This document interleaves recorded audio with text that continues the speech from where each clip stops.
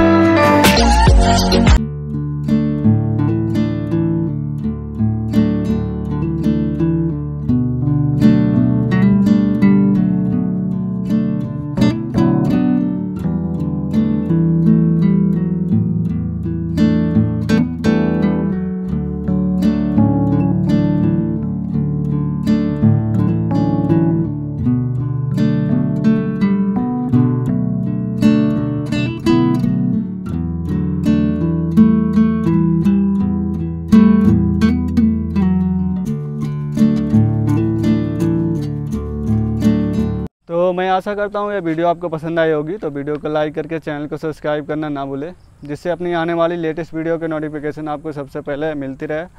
और मैं इसी प्रकार का जो है वीडियो वगैरह लाता रहूँगा तो आप लोग चैनल को सब्सक्राइब करना ना भूलें। चलिए वीडियो को करते हैं और वीडियो देखने के लिए, थैंक यू।